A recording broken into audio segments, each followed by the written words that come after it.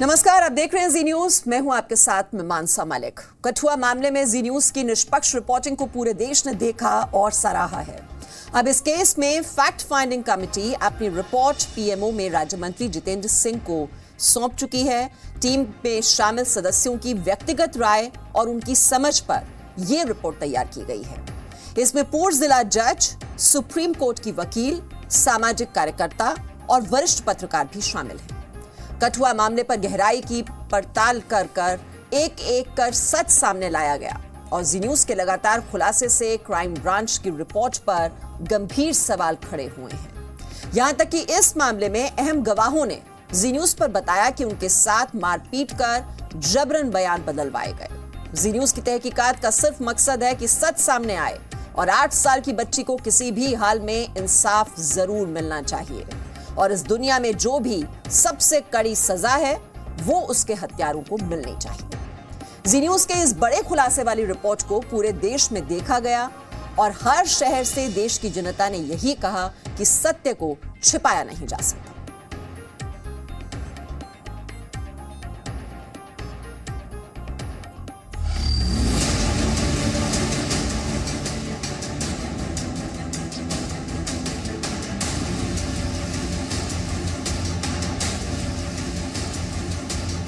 कठुआ की आठ साल की जिस बच्ची के साथ गैंगरेप हुआ और हत्या हुई, उसे इंसाफ तभी मिलेगा जब इस मामले का पूरा सच बाहर आएगा।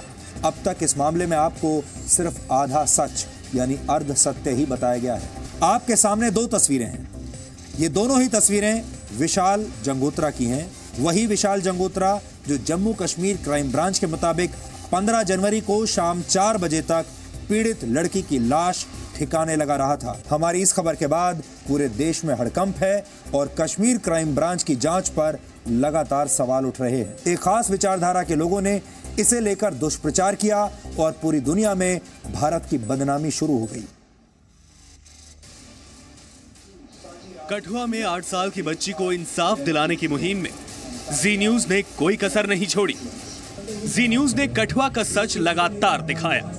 और क्राइम ब्रांच की चार्जशीट पर सवाल उठाए थे, क्योंकि चार्जशीट में बहुत से तथ्य ऐसे लिखे हुए थे, जिन पर शक पैदा होता था। दो मई को कठुआ मामले के तीन अहम गवाहों ने खुलासा किया था कि कश्मीर क्राइम ब्रांच ने उन्हें बुरी तरह टॉर्चर किया और ज़बरदस्ती ये कबूल करवाने की कोशिश की थी कि वारदात के दौरान, यानी 12 जनवरी से 15 जनवरी तक विशाल जंगोत्रा कठुआ में मौजूद था। मैं तब भी नहीं माना। फिर उन्होंने एक मेल ऑफिसर था वहाँ पे उसने मेरे को कम से कम भी सात आठ चांटे मारे और यहाँ पे घुटनों पे उसे टांगे मारी मुझे कम से कम तीन चार बार। फिर जैसे वो कहते से नहीं मानेगा इसको वो दिन लंबी स्टिक लेके आए मेरे पास। उन्होंने कहा कि ये इससे मानेगा। जैसे फिर उन्होंने इतना प्रेशर किया मेरे पे कि मैं वो जो उन्होंने कहा था वो मैं बोलने के लिए मजबूर हो गया। सचिन नीरज और साहिल नाम के तीनों गवाहों ने जी न्यूज़ को बताया कि क्राइम ब्रांच ने विशाल जंगोत्रा को फंसाने की पूरी कोशिश की। इसके लिए तीनों से फर्जी सिग्नेचर भी करवाए।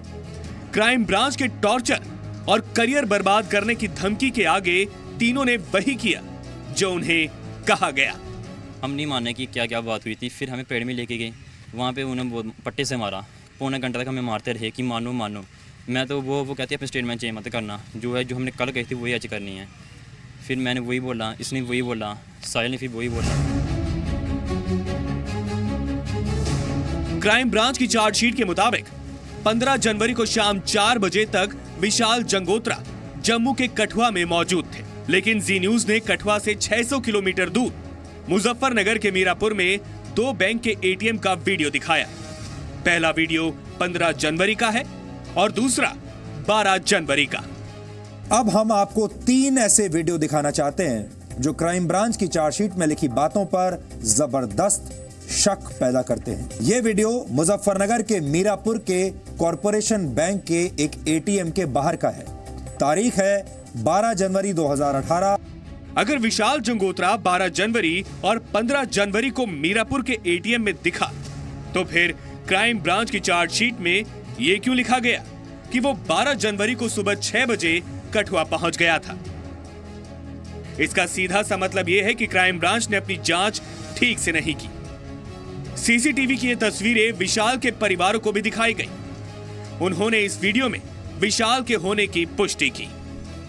ये हमारा भाई है, लेकिन क्राइम ब्रांच ने क्यों उसको बोला है कि जम्मू में है? लेकिन ये मेरा भाई आप देखिए, इसमें डेट भी बताई जा रही है। और इसकी तो लोकेशन भी होगी ये तो सब निकलवा सकते हैं भैया। जी न्यूज़ के इन्वेस्टिगेटिव रिपोर्टर मुजफ्फरनगर के मीरापुर में मौजूद उस मकान में पहुँचे जहाँ पर विशाल किराए पर रह रहा था। फ़ोटो देखने पर पुलिस ने क्या कहा कुछ कहा? नहीं हाँ उसको कहा कि फ़ोटो बंद कर दो इस फ़ोटो को। इसे मत दिखाओ।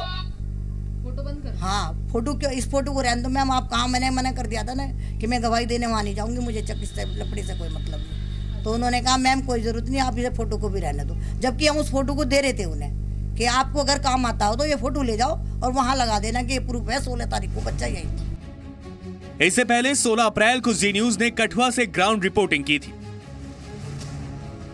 हम इस घटना से हम भी उतने ही व्यथित हैं जितना पूरा देश। और हमें लगता है कि इस मामले में दोषियों को दुनिया की सबसे बड़ी सजा मिलनी चाहिए।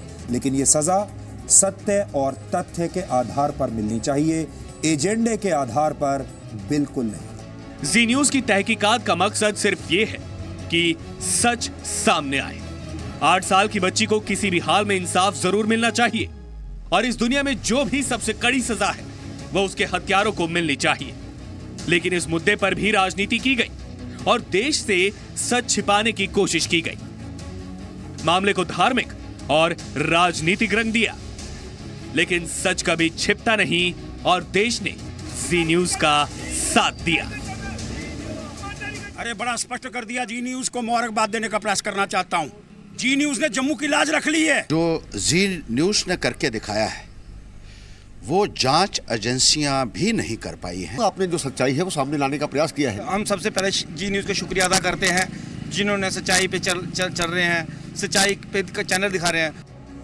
पूजा मक्कड़, पवन नारा, राहुल सिन्हा और राजू केरनी के साथ ब्यूरो रिपोर्ट, जी मीडिया। तो कठुआ का सच सामने लेकर आया है जी न्यूज़ और इस वक्त हम रुक कर लेते हैं हमारी सहयोगी पूजा मक्कड़। इस वक्त हमारे साथ जुड़ी हुई हैं। पूजा, ये बताइए, जो फैक्ट फाइंडिंग कमेटी की रिपोर्ट जो पेश की गई है, जितेंद्र सिंह को ये सौंप दी गई है, इसकी फाइंडिंग्स क्या हैं? क्या अहम बातें इस फैक्ट फाइंडिंग कमेटी ने निकाली हैं, जो कि इस रिपोर्ट में सौंपी गई हैं जितेंद्र सिंह को? और बात आगे कैसे बढ़ेगी? जी मीमान साहब सबसे पहले मैं आपको फैक्ट फाइंडिंग कमेटी से मिलवा देती हूँ। ये वो कमेटी है। हम इस वक्त डॉक्टर जितेंद्र सिंह के घर के बाहर ही मौजूद हैं और अभी अभी ये रिपोर्ट देकर डॉक्टर जितेंद्र सिंह से मिलने के बाद यहाँ पर मौजूद हैं। सीधे इन्हीं से पूछेंगे कि इस फैक्ट फाइंडिंग कमेटी की सबसे बड़ी बातें क्या हैं? हमारे साथ मोनिका अरोड़ा हैं एडवोकेट हैं सुप्रीम कोर्ट में। मोनिका जी, ये जो रिपोर्ट आपने तैयार की है, अगर मैं आपसे ये पूछूँ कि दस बड़े लूप होल जो आपको वहाँ मिले, वो क्या थे? फैक्ट फाइंडिंग टीम के नाते हम लोग जम्मू कठुआ गए। वहाँ रसाना विलेज में गए। जो पहला घर है रसाना विलेज में, चौदह घर हैं वहाँ। पहले घर में बिशन सिंह रहता है, जो एक्स आर्मी पर्सन है। उसने कहा कि सत्रह को बच्ची की डेड बॉडी मिली है। सोलह को ट्रांसफार्मर जो बिजली का है उस पर ब्लास्ट हुआ, पूरे गाँव में अंधेरा था। आधी रात के बाद एक बुलेट बाइक आती है, दो लोग आते हैं, कंबल लपेट के आते हैं, वो अंदर जाते हैं गाँव में और तीन बजे वापस आते हैं। अब वो लोग कौन थे? इस पर इन्वेस्टिगेटिंग टीम ने प्रोब ही नहीं किया। वो डेड बॉडी जिस दिन मिली है उससे पहली आधी रात को गाँव के अंदर आउटसाइडर्स क्या कर रहे थे क्या कंबल में कुछ लपेट कर लाए थे इसको प्रोब नहीं किया गया। चार्जशीट में ही कहीं नहीं है। Exactly exactly. दूसरी बात दस दिन में तीन इन्वेस्टिगेटिंग टीम्स चेंज की गई। पहली इन्वेस्टिगेटिंग टीम कहती है काउ शेड में मारा लड़की को वहीं पर रखा गया। दूसरी आई फिर तीसरी आई जो तीसरी टीम आती है वो कहती है गैंग रेप हुआ है। वो कहती है देवस्थान की बात करती है। अब वो जो तीसरी टीम है जम्मू में कांड हुआ है जम्मू में घटना घटी है उसके ऑफिसर्स लाए जाते हैं कश्मीर से। टेंटेड ऑफिसर्स लाए जाते हैं। दो एफ़ आई आर लॉज हैं उन ऑफिसर्स के ऊपर। एक के विरुद्ध एफ़ आई आर है कि जेल में ही कस्टोडियल डेथ की और उसकी बहन के साथ रेप की एफआईआर है। दूसरी के खिलाफ एफआईआर है डिस्ट्रक्शन ऑफ़ एविडेंस की। क्या कारण है कि बाहर से टेंटेड ऑफिसर्स को लाया जाता है और फिर एक चार्जशीट प्रिपेयर की जाती है? तीसरा, हम गाँव में जब अंदर गए, देवस्थान पर गए, देवस्थान मंदिर नहीं है। वहाँ पर कोई बेसमेंट नहीं है, जैसा कुछ मीडिया हाउसेज ने बताया था। देवस्थान ऐसी जगह है, जहाँ आप अंदर बाहर देख सकते हो। तीन खिड़कियाँ, तीन दरवाजे हैं। खिड़कियों पर ग्रिल है। अंदर किसी को छुपाना इम्पॉसिबल है। और वहाँ तेरह, चौदह, पंद्रह जनवरी को तो लोहड़ी, मकर संक्रांति और भंडारा था। वहाँ इतने लोगों का आना जाना था। आप लड़की को कैसे छुपा सकते हो? वहाँ उसका रेप कैसे कर सकते हो? उसके बाद देवस्थान से जो एक्यूज सांझी पटवारी का घर है, वो 300 मीटर की दूरी पर है। सांझी पटवारी यानी एक्यूज के घर के पीछे ही लाश मिली है। कोई भी एक्यूज किसी बच्ची के साथ दुष्कर्म करके जिसमें उसके अपना बेटा इन्वॉल्व हो लाश को अपने घर के पीछे क्यों फेंकेगा? पोस्टमार्टम रिपोर्ट को लेकर भी बहुत सवाल उठ रहे हैं। आप लोगों की स्टडी उस पर क्या कहती है? देखिए पोस्टमार्टम रिपोर्ट दो नहीं होती। पोस्टमार्टम हुआ है सत्रह जनवरी को। लेकिन 17 जनवरी की भी रिपोर्ट है, इसका सीरियल नंबर 27 है और 19 मार्च को भी रिपोर्ट साइन गई, की गई है, जिसका सीरियल नंबर 27 ही है। सेम रिपोर्ट है, कॉपी पेस्ट कर दिया गया है, लेकिन उसमें रिमार्क्स ऐड कर दिए गए हैं। उसमें चोटों को बढ़ा दिया गया है, क्योंकि टैम्पर विथ किया गया है। पहली रिपोर्ट कहती है कि बच्ची के पेट में कुछ खाना पीना नहीं था। दूसरी रिपोर्ट इस पर चुप हो जाती है। तो बहुत इनकन्सिस्टेंसीज हैं। और बड़ी बात यह है कि जब आठ साल की छोटी बच्ची के साथ इतनी बर्बरता हुई है, उसको मारा गया है इंजरी वर्ड पोस्टमार्टम रिपोर्ट जो हमने दोनों देखी हैं, उस पर मैंशन भी नहीं है। मैं एक बात और कहूँगी। आपके चैनल ने जो विशाल जंगोत्रा का एविडेंस दिखाया है, वो वो रिफ्यूट कोई कैसे कर सकता है? क्योंकि सारे गाँव वाले कहते हैं 12 और 17 जनवरी के बीच में विशाल जंगोत्रा कठुआ गाँव में नहीं आया। चार्जशीट कहती है वो वहीं पर था कठुआ में। आपकी जो रिपोर्ट मैंने देखी है, वही एटीएम में जो दिखाया जाता है कि वो एटीएम कहाँ का है? मुजफ्फरपुर का है, उत्तर प्रदेश का है। वहाँ विशाल जाता है, हज़ार रुपया निकालने के लिए जाता है, उसकी फ़ोटो दिख रही है, वो आइडेंटिफाई किया उसके घर के लोगों ने। तो जो व्यक्ति वहाँ था, उसको क्राइम ब्रांच क्यों ज़बरदस्ती पकड़ रही है? उसके दोस्तों को क्यों टॉर्चर कर रही है? क्योंकि उसके तीन दोस्त हैं। सचिन है, साहिल है, नीरज है। तीनों ने कहा है कि हमें मारा पीटा गया है। उन्होंने 164 के बयान मैजिस्ट्रेट के सामने रिकॉर्ड कराए हैं कि विशाल उस समय कठुआ में नहीं था। हमसे ज़बरदस्ती ये एक स्टेटमेंट ली गई है। मुझे लगता है सीबीआई प्रोब होना चाहिए। बिल्कुल तो ये रिपोर्ट है मीमांसा जी, जी। आप देख रही हैं ये मोनिका जी के हाथ में है। ये रिपोर्ट अभी अभी सौंपी गई है और जो जी न्यूज़ की इन्वेस्टिगेशन है और जो रिपोर्ट है ये तो मिलती है लेकिन चार्जशीट जो कहती है ज़मीनी हकीकत उससे बिल्कुल नहीं मिलती है। जी, बिल्कुल, जो सीसीटीवी फुटेज जी न्यूज़ ने दिखाई और जिसमें ये बात साबित हो जाती है कि विशाल जंगोत्रा उस वक्त कठुआ में था ही नहीं और जो क्राइम ब्रांच की ओर से जो चार्जशीट दाखिल की गई, उसमें देखिए कितने ज़्यादा लूप होल्स हैं और जो फैक्ट फाइंडिंग कमेटी है वो भी इसी बात पर मुहर लगा रही है। जो जी न्यूज़ की जो टीम वहाँ पर पहुँची, जो रिपोर्टिंग वहाँ से की और साथ ही साथ जो सीसीटीवी फुटेज हम लगातार आपको इतने दिनों से दिखा रहे हैं कि एक शख्स दो जगहों पर कैसे हो सकता है। क्राइम सीन पर भी उसकी मौजूदगी और साथ ही साथ वो अपने रिहायशी इलाके में भी रह रहा है। अब इसको लेकर इतने ज़्यादा लूप होल्स हैं और इन्हीं लूप होल्स पर फोकस करती है ये फैक्ट फाइंडिंग कमेटी की रिपोर्ट जिसके बारे में जानकारी दे रही थी हमारी संवाददाता पूजा मक्कर।